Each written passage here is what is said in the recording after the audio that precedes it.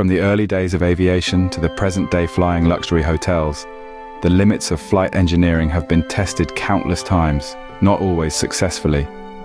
Come along while we take a look at five daring feats that help push forward the limits of flight as we know it.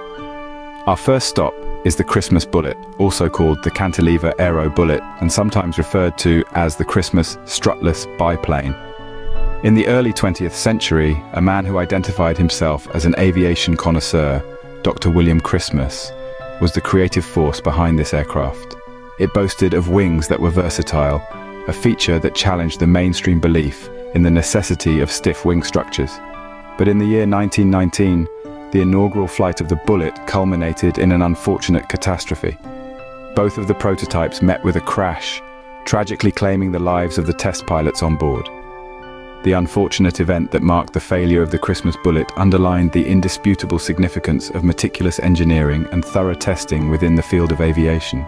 Next, we have the Spruce Goose, technical named the Hughes H-4 Herculeson, an enormous flying boat built by the visionary Howard Hughes in the 1940s. This floating titan symbolizes a dream of limitless ambitions and engineering prowess.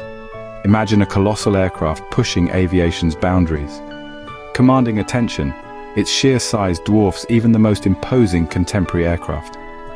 Yet despite its grandeur, the Spruce Goose only accomplished a single, fleeting flight in the late autumn of 1947. This brief moment of airborne glory forms a stark contrast to its otherwise grounded existence.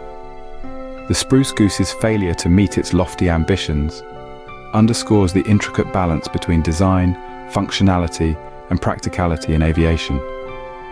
Today, this gargantuan aircraft resides at the Evergreen Aviation and Space Museum.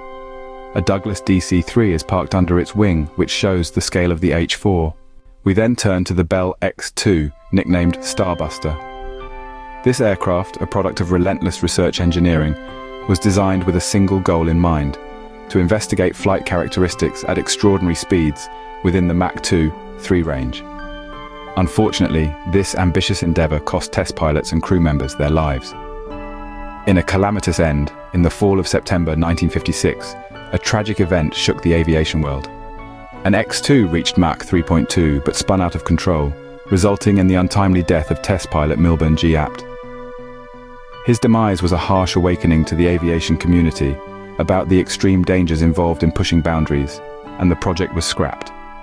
The Starbuster's downfall is a poignant reminder of the inherent risks involved in exploring the unknown and the extreme demands placed on those brave enough to do so.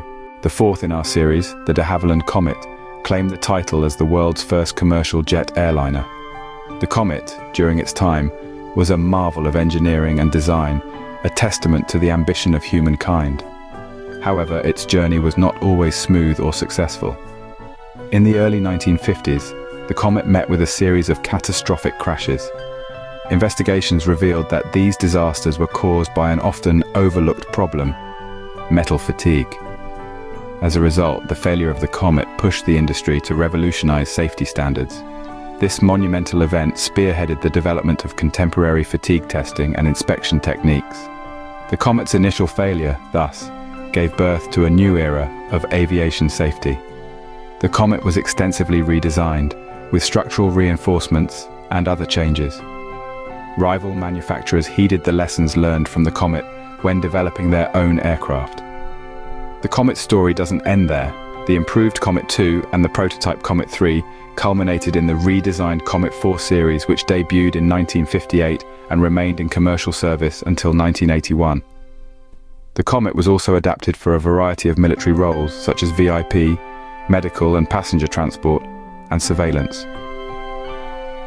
The last Comet 4, used as a research platform, made its final flight in 1997.